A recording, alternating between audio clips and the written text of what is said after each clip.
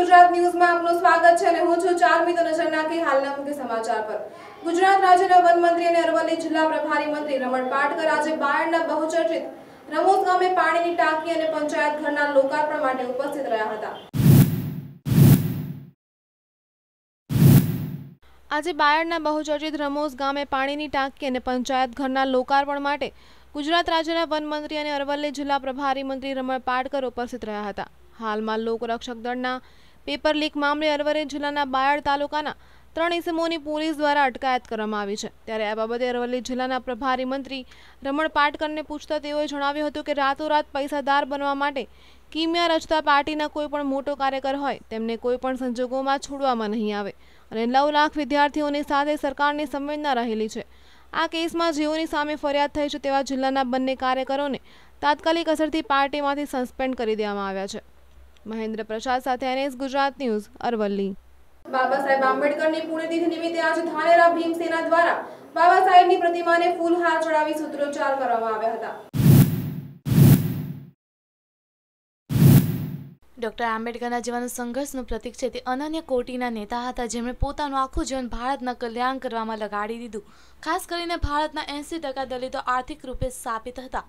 તેમને અભિશાપથી મુક્ત કરવાના ડૉક્ટર આંબેડકરના જીવનનો મૂળ હતો. ત્યારે આજે બનાસકાંઠા જિલ્લાના ધાનેરામાં દલિત સમાજના યુવાનો દ્વારા મોટી સંખ્યામાં ભેગા થઈ ધાનેરાના લાલ ખાતે આવેલી બાબા સાહેબ આંબેડકરની પ્રતિમાને ફૂલહાર ચડાવી સૂત્રોચ્ચાર કર્યા હતા. સુરેશ ગલચર સાથે એનએસ ગુજરાત ન્યૂઝ, બનાસકાંઠા. ગામડાઓનો વિકાસ ગ્રામ પંચાયતો દ્વારા થાય છે. ત્યારે ગ્રામ પંચાયતનું મકાન અને સુવિધાઓ પણ સારી હોવી જોઈએ. ત્યારે આજે અમે એવી ગ્રામ પંચાયત બતાવવા જઈ રહ્યા છીએ જ્યાં મકાન બિલકુલ જર્જરિત અવસ્થામાં છે. આવી પરિસ્થિતિમાં સરપંચ કે તલાટી માટેનું બેસવું જોખમી છે. જેના કારણે હાલ ગામડાઓનો વહીવટ પંચાયતના કોમ્યુનિટી હોલમાં બેસીને કરવામાં આવે છે. અરવલ્લી જિલ્લાના સરહદી અને પછાત વિસ્તારમાં આવેલા મેઘરજ તાલુકાના ઇપલોડા ગામમાં ચાર ગામની ગ્રામ પંચાયત આવેલી છે, જેમાં ચાર હજાર પાંચસોથી વધુ વસ્તી ધરાવતા આ ગામમાં ગ્રામ પંચાયતનું મકાન બિલકુલ. બિસ્માર હાલતમાં છે. ગ્રામ પંચાયતના બારી બારના બિલકુલ તૂટી ગયેલા હાલતમાં છે. ગ્રામ પંચાયતની દિવાલોમાં મોટી મોટી તિરાડો પડી ગઈ છે. સંપૂર્ણ મકાન કંડમ પરિસ્થિતિમાં જોવા મળ્યું. ગ્રામજનો અને સરપંચ દ્વારા અનેક વખત તંત્રમાં રજૂઆત કરી. પરંતુ તંત્ર દ્વારા કોઈ જ કામગીરી કરવામાં આવી નથી, જેને કારણે પ્રજાજનો ભારે હાલાકીનો સામનો કરી રહ્યા છે. ત્યારે ગ્રામજનો ઇપલોડા ગ્રામ પંચાયતનું મકાન ઝડપી બને એવી માંગ કરી રહ્યા છે. ઇપલોડા ગ્રામ પંચાયતનું મકાન દસ વર્ષ બિસ્માર હાલતમાં છે. છતમાંથી પોપડા વિખૂટી ગયા છે, બારી બારના પણ તૂટી ગયા છે. છતમાંથી પાણી ટપકે છે એવી હાલતમાં ગ્રામણ ચારનો વહીવટ કરવા સરપંચ, સભ્યો અને તલાટી બેસતા હતા. જેના કારણે જોખમી મકાનમાં બેસવું હિતાવ ન હોવાથી હાલ ઇપલોડા ગ્રામ પંચાયતનો વહીવટ, કોમ્યુનિટી હોલમાં પણ વહીવટ કરવા સરપંચ, સભ્ય અને તલાટીના પોતાના જીવના જોગમે બેસીને ગ્રામ પંચાયતનું વહીવટ કામ કરવું પડે એમ ચાર ગામની ગ્રામ પંચાયત રોજના અસંખ્ય પ્રજાજનો પોતાના વિકાસના અનેક કામ લઈને આવતા હોય છે. ત્યારે આજે પણ તલાટી કોમ્યુનિટી હોલમાં બેસી અને ગ્રામ પંચાયતનું સંચાલન કરી રહ્યા છે. ત્યારે તંત્ર કુંભકર્ણ ઊંઘમાંથી જાગી અને ઇપલોડા ગ્રામ પંચાયતનું નવું મકાન બને એ પ્રજાજનો ઈચ્છી રહ્યા છે. સમગ્ર મામલે મેઘરજ તાલુકાના પ્રોગ્રામ ઓફિસરે જણાવ્યું હતું કે ઇપલોડા ગ્રામ પંચાયતનું મકાન જર્જરિત હાલતમાં જોવાથી હોવાથી દરખાસ્ત આવેલી છે અને તે દરખાસ્ત જિલ્લામાં મોકલેલ હતી, પરંતુ જિલ્લામાંથી કવેરી આવતા સાત દિવસમાં જિલ્લામાંથી રાજ્ય સરકારમાં જતી રહેશે એવું જણાવ્યું હતું. મહેશ પ્રજાપતિ સાથે એનએસ ગુજરાત ન્યૂઝ અરવલ્લી. દેશની સરહદની રક્ષા કરતી સુરક્ષા એજન્સીઓ સરહદનો રખોપો કરવા સાથે અનેક આયોજન હાથ ધરતી હોય છે. ત્યારે વધુ એક આવું જ આયોજન ભારતીય આર્મીએ ભુજથી મહારાષ્ટ્રના સિકંદરાબાદ સુધીનો પેરામોટર અભિયાન અંતર્ગત સફર ખેડ્યું છે. આ અભિયાન ત્રીજી ડિસેમ્બરથી ચૌદ ડિસેમ્બર સુધી, એટલે કે અગિયાર દિવસ ચાલશે. હળદરના રંજીતગઢ પાસે આવેલી શ્રી હરિકૃષ્ણ ધામના આંગણે ઇન્ડિયન આર્મીનું પેરામોટર ગ્રુપ આવી પહોંચ્યું હતું, જ્યાં શ્રી હરિકૃષ્ણ ધામના મહંત પૂજ્ય સુદૃઢ તપોમૂર્તિ શ્રી ભક્તિ હરિદાસજીના સાનિધ્યમાં પેરામોટર આર્મીના જવાનોનું ભવ્ય સ્વાગત કાર્યક્રમનું આયોજન કરવામાં આવ્યું હતું, જેમાં ઉપસ્થિત આર્મીના જવાનોને દેશની રક્ષા કાજે બિદાવી કાર્યક્રમની શરૂઆત કરવામાં આવી હતી. આ તકે હળદરના રંજીત ગઢ પ્રાથમિક શાળાના બાળકો, હળવદની કન્યા, છાત્રાલયના દીકરીઓ તેમજ ધાનાડા અને કેદારીયાના ગ્રામજનો મોટી સંખ્યામાં હાજર રહ્યા હતા. ભુંજથી સિકરાબાદ સુધીની પેરામોટર સાહસ અભિયાન હાથ ધરવામાં આવ્યું છે, જેમાં આજે આર્મીના જવાનોએ શ્રી હરિકૃષ્ણ ધામ ખાતે પેરામોટરની ઉડાન ભરી. તે દરમિયાન ઉપસ્થિત લોકોએ આશ્ચર્યચકિત થઈ ગયા હતા. આ વેળાએ બહોળી સંખ્યામાં લોકોએ પેરામોટરની ઉડાનનો નજારો નિહાળ્યો હતો. મયુર રાવલ સાથે એનએસ ગુજરાત ન્યૂઝ હળવદ. જૂનાગઢ માણાવદરના શેરડી અને ઇન્દ્રા ગામેથી બે બોગસ તબીબ ઝડપાયા. તેમાં એક મહિલા અને પુરુષને માણાવદરના આરોગ્ય અધિકારીની ટીમે ઝડપી પાડ્યા છે. તેઓ ડિગ્રી વિના જ બોગસ રીતે એલોપેથી દવા વેચીને કારોબાર ચલાવતા હતા. સૈદી અને ઇન્દ્રા ગામોમાં ઘણા સમયથી બોગસ તબીબ એલોપેથિક દવા વહેંચીને કાર્ય કરતા હતા, જેમને અને આરોગ્ય ટીમ દ્વારા દરોડા પાડીને ઝડપી પાડવામાં આવ્યા છે. મહિલા અને પુરુષ તબીબીની સાથે એલોપેથિક દવાનો જથ્થો જપ્ત ગામડામાં બોગસ તબીબો કરી રહ્યા છે.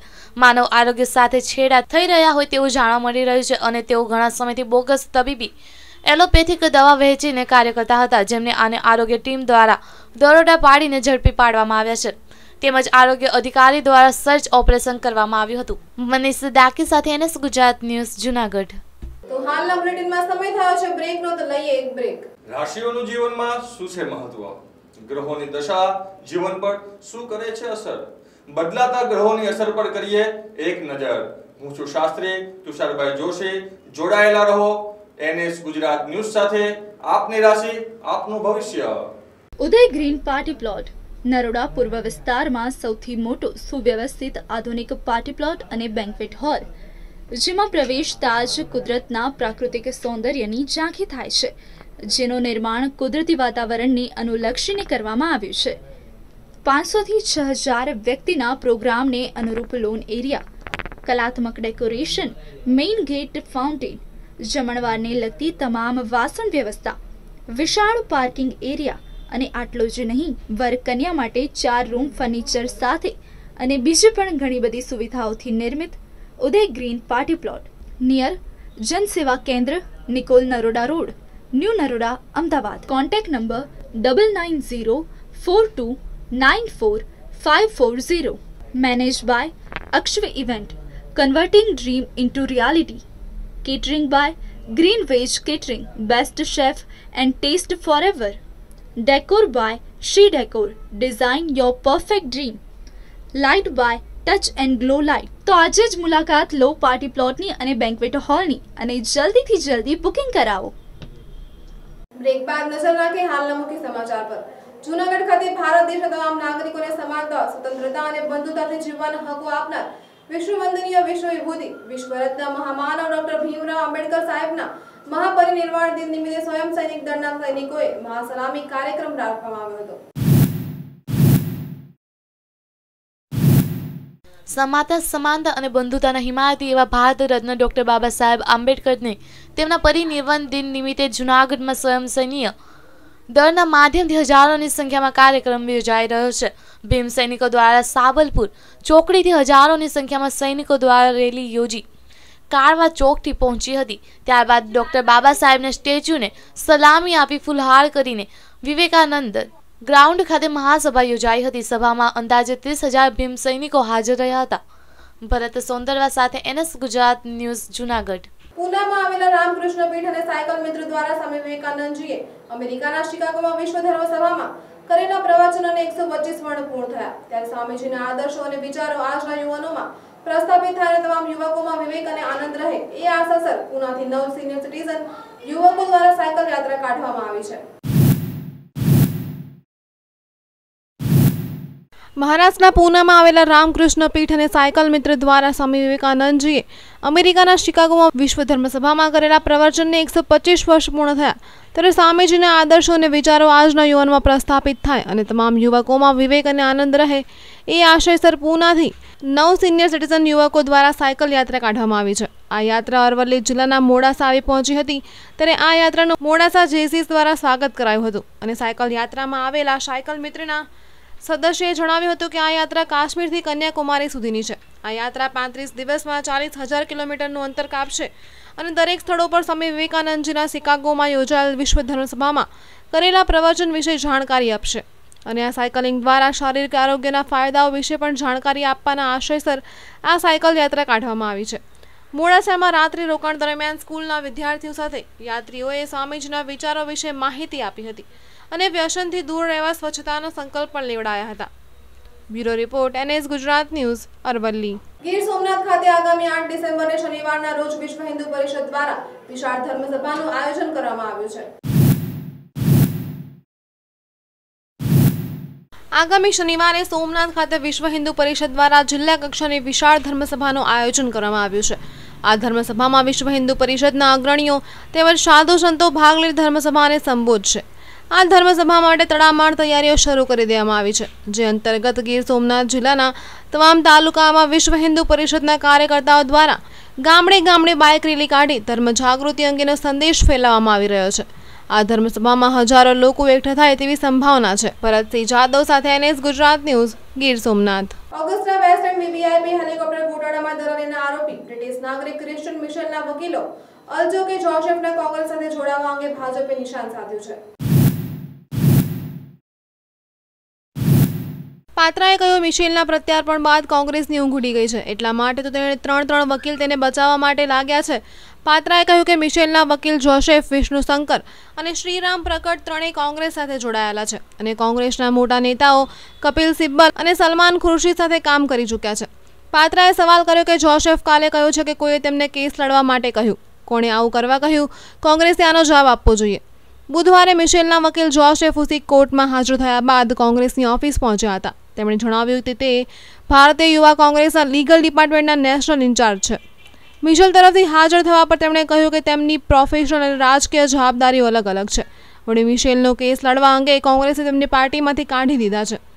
છત્રીસો કરોડ રૂપિયાના ઓગસ્ટા વેસ્ટલેન્ડ વીવીઆઈપી હેલિકોપ્ટર સોદામાં દલાલીના આરોપી મિશેલને દિલ્હીની પટિયાલા હાઉસ કોર્ટે બુધવારે પાંચ દિવસની સીબીઆઈ કસ્ટડીમાં મોકલી દીધા છે. બુધવારે તેને દિલ્હીની પટિયાલા હાઈકોર્ટમાં રજૂ કરવામાં આવ્યો. અદાલતે તેને પાંચ દિવસની કસ્ટડી મંજૂર કરી. સીબીઆઈ તરફથી વકીલ ડીપી સિંહે અદાલતને અમુક મહત્વના મુદ્દાઓ પર પૂછપરછ કરવા માટે પોલીસ કસ્ટડી માંગી હતી.